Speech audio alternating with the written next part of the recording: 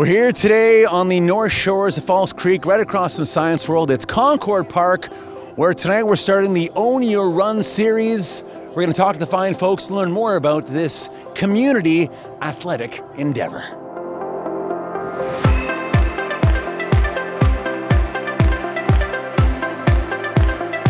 This is going to be a community run every Wednesday at 5:30. We're going to go for a nice little 6K. We're going to go 3K out, 3K back. If you walk, run, do a little bit in between, you are so welcome. So your pace is kind of irrelevant here. We just want you moving and grooving and having a really good time. Jeff and I and Concord and Lululemon really want to create an environment where you can just come exactly as you are. And if you've had a really tough day, you can come here, shake it out. You don't have to worry about meeting a certain expectation. You can just come exactly as you are.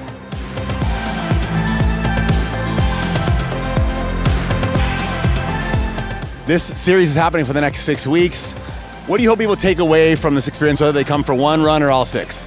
I just hope that they learn to enjoy running. I hope they learn to like slow down and notice this like relationship between effort and fun and that the harder you go, the better workout you get.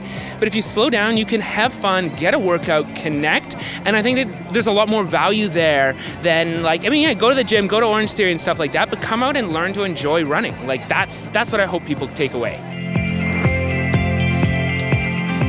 And you won the most enthusiastic participant. No, I was like so excited.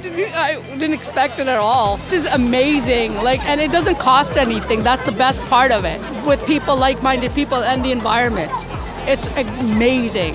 And I will sell it to everybody that'll listen to me. There you have it, the Own Your Run series happening right here at Concord Pacific Park every Wednesday from now through June 7th. Oh, it was hot, it was fun in the sun, it was a great day to run. It's Jordan Wade for City Lights on Novus TV.